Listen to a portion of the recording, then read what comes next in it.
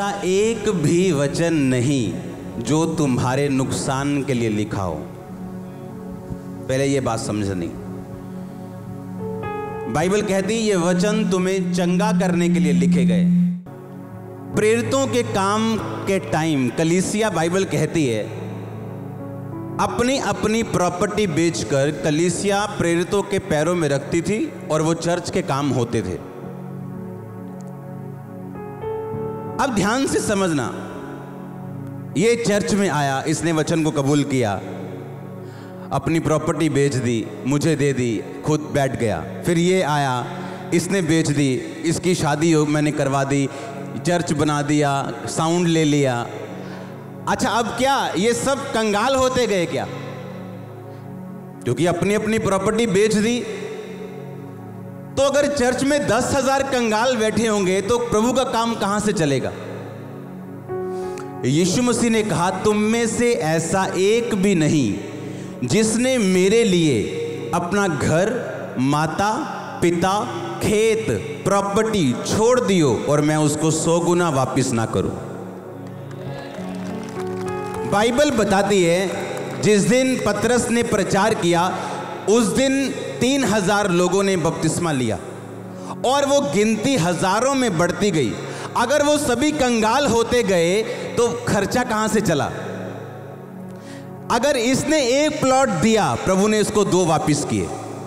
अगर इसने दो दिए, इसको चार मिले। हुआ क्या? चर्च आशीषित होती गई और प्रभु का काम बढ़ता गया। क्योंकि जब प्रभु का काम वहाँ लिखा बढ़ता गया, इसका मतलब पैसा भी बढ़ता गया ताकि प्रभु के कामों में कोई विघ्न ना हो।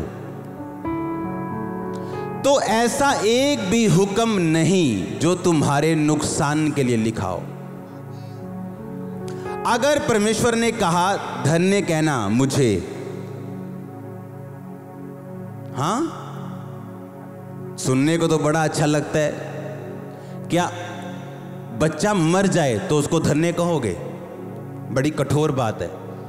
अयूब की तरह अगर आज बिज़नेस खत्म हो जाए तो कल क्या अगले इस संडे मीटिंग में आओगे?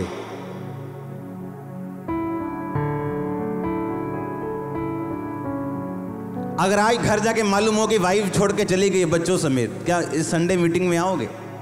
मैं पूछ रहा हूँ। यस कहना, यस करना। उतना ही फ़र्क है जितना शैतान और परमेश्वर में। रूत कैसे बचाई गई? पिता को धन्य कह के। धन्य कहने के लिए कारण तो कोई नहीं था। पति नहीं था, ससुर नहीं था, पैसा नहीं था। ये नहीं था, पति नहीं है तो बहुत पैसा है। या ससुर ज़िंदा है, कोई बात नहीं। खाने पीने की कमी नहीं है, लेकिन कुछ भी नहीं है। फिर भी उसने क्या कहा? मैं वापिस चली जाऊँगी, पर यहोवा को धन्य कैसे कहूँगी? मैं यहीं रहूँगी।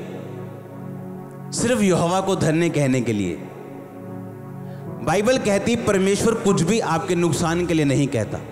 अगर उसने आपको धन्य कहने के लिए बोला आपकी मुश्किल परिस्थितियों में तो इसका मतलब वो उसको आपके फ़ायदे और आपकी गवाही में बदल देगा, अगर आप वचन पे चलना छोड़ेंगे नहीं। वो मूर्ख नहीं है। उसने आपको बुद्धि दी है। जो वैज्ञानिक आज मार्स मंगल पे, चंद्रमा पे पहुँच गए, उनको बुद्धि देने वाला कौन है? परमेश्वर। उसने जो आज कंप्यूटर जब बना था ना तो जितना ये टेंट लगा, इतना बड़ा स्टेज। इतनी बड़ी हार्ड डिस्क थी। जो आज आपके जेब में जो माइक्रो कार्ड है ना, उसमें ज़्यादा स्टोरेज है, जो पहली हार्ड डिस्क बनी थी। वो इंसान जो इसकी बुद्धि बढ़ती जा रही है, परमेश्वर कहता, मेरे सामने तुम मूर्ख हो ये मैंने बनाई है बुद्धि। जो कंप्यूटर आज हमने बनाए, हमारी बुद्धि ने बनाए, सोचो जिस बुद्धि को परमेश्वर ने बनाया, वो तुम्हें फालतू में नहीं कहेगा, मेरा धन्यवाद कर, या मेरी वर्शिप कर, या मेरा थैंक्स कर, या व्यभिचार छोड़ दे, या नशा छोड़ दे। आपको बोरिंग करने के लिए नहीं, आपको कुछ देने के लिए, कुछ बिल्ड करने के लिए। वो आप में वो देखता है जो आप नहीं देख सकते। आप अपने आप में वो निकाल सकते हैं अपने आप से जो परमेश्वर जिस तरह देखता है, वचन पे चल के। आमीन। आप कमज़ोर नज़र आते हैं हाँ? परमेश्वर कहता, नहीं, तू दबोर है, तू गिदौन है। पर वो निकलेगा कैसे आपके अंदर से? आप वचन पे चलते रहेंगे। हाँ? क्या करेंगे वचन पे? दिल करेगा तब भी, नहीं करेगा, दुखी होके तब भी, सुखी होके आप चलते रहेंगे, आप चलते रहेंगे। आप में से वो दबोरा, वो मरियम निकलेगी जिसके लिए प्रभु ने पैदा किया आपको। आप वो नहीं हो जो यहाँ बैठी हो, आप वो नहीं हो, आप वो नहीं हो। आप एक पत्थर की तरह आए हो, जो एक्चुअल में हीरा है। अगर उसे तराशा नहीं जाएगा, वो तमाम उम्र पत्थर रहेगा। जितना मैंने हाथ में साइज़ किया, अगर इतना पत्थर हो तो कोई किसी काम का नहीं। लेकिन अगर इतना हीरा हो तो दो हज़ार करोड़ से भी ज़्यादा उसकी वैल्यू होगी, इतना सिर्फ़। आप इमेजिन करो, आपकी वैल्यू हीरो से भी ज़्यादा है। पर जब दिमाग का प्रयोग करेंगे कि अब कौन सा थैंक्स रह गया, अब तो बीमारी हो गई। अब कौन सा थैंक्स करेंगे? अब तो हमारे घर में ये घटना हो गई। अब कैसे थैंक्स करेंगे हम? मेरे साथ तो ये हो गया। मेरा तो वीज़ा नहीं लगा। मेरा तो मेरा तो सब कुछ ख़त्म हो गया। मेरा तो मेरी तो मंगनी टूट गई।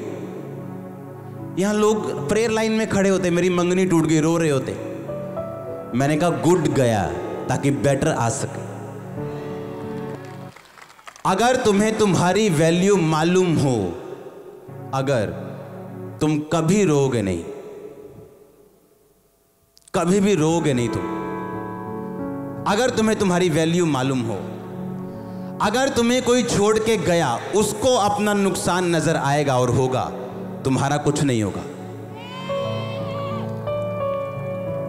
तुम एक ऐसा हीरा हो जिसे एक, अगर एक अमीर त्याग देगा तो दूसरा अमीर उसे लेने के लिए तैयार होगा।